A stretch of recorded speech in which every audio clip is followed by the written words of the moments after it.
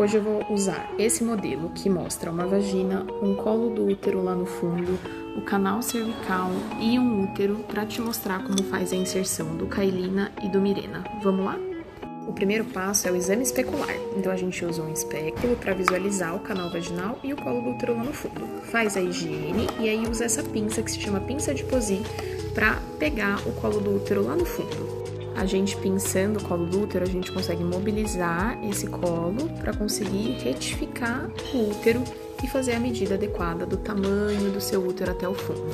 Para fazer essa medida, a gente usa uma régua que chama esterômetro.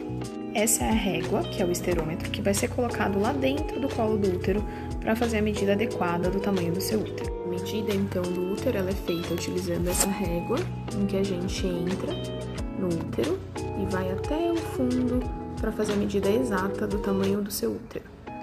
A partir da medida que a gente fez, a gente ajusta o Kailina ou Mirena na medida do útero para fazer a inserção.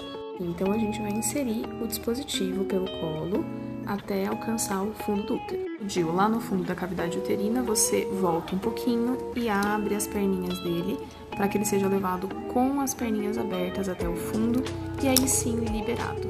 Depois a gente só corta a cordinha e acabou o procedimento.